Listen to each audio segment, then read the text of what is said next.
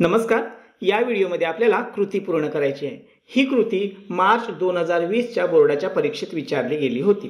तर इथे आपल्याला एक सारणी दिलेली आहे. या सारणीमध्ये पहिला जो कॉलम आहे पहिला जो रकाना आहे तो वयोगटासाठी आहे. त्यानंतर व्यक्तींची संख्या दिलेली आहे.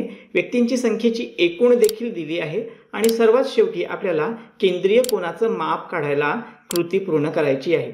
याचाच अर्थ काय? तर ही जी सारणी आहे ती वृत्तालेख पूर्ण करण्यासाठीची सारणी आहे. आपल्याला इथे वृत्तालेख काढायचा नाही फक्त कृती पूर्ण करायची आहे. सर्वात अगोदर आपल्याला वयोगट दिलेला आहे वीस ते पंचवीस. मग इथे व्यक्तींची संख्या आहे ऐंशी. तर केंद्रीय कोणाचं माप करण्यासाठी काय करायचं? तर व्यक्तींची संख्या छेद एकूण व्यक्तींची संख्या गुणिले तीनशे साठ.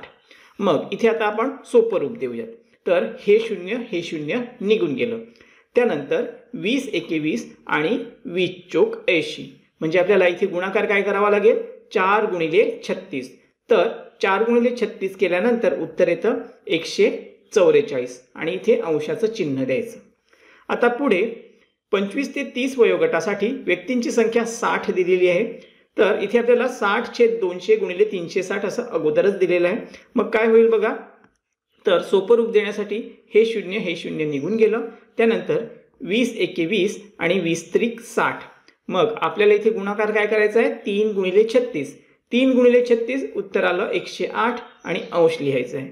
त्यानंतर पुढे तीस ते पस्तीस वयोगटासाठी पस्तीस व्यक्तींची संख्या दिलेली आहे आणि पस्तीस छेद दोनशे मग इथे गुणिले तीनशे साठ उत्तर त्रेसष्ट अंश अगोदरच दिलेलं आहे. शेवटच्या वयोगटासाठी आपल्याला व्यक्तींची संख्या दिलेली आहे पंचवीस. म्हणून पंचवीस छेद दोनशे गुणिले तीनशे साठ. मग काय होईल बघा हे शून्य हे शून्य निघून गेलं. त्यानंतर पाचा पाचा पंचवीस आणि पाच चोक वीस. पुढे चार एके चार आणि नऊ चोक छत्तीस. मग आपल्याला गुणाकार काय करायचा आहे? पाच गुणिले नऊ.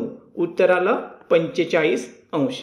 आता इथे काय करायचं आहे? तर इथे एकूण लिहायचं आहे.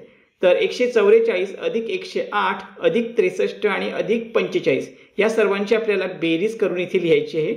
जी बेरीज येणार आहे तीनशे साठ अंश.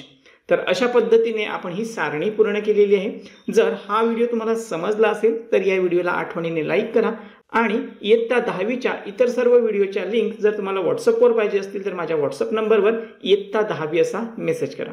तर या व्हिडिओमध्ये आपण इथे थांबूयात. भेटूयात पुढील व्हिडिओमध्ये. तोपर्यंत काळजी घ्या. थँक्यू